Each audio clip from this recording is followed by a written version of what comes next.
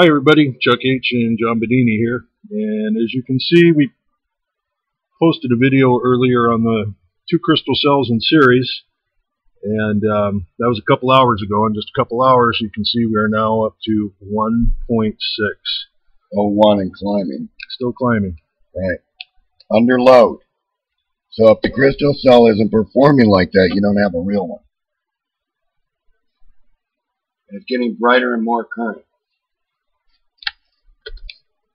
And we got to tell you, you got to learn. Get five mil, almost two and a half mils now. And uh, you got to learn uh, how to grow your own crystals,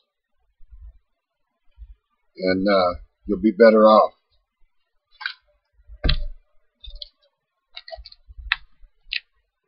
Thanks for watching.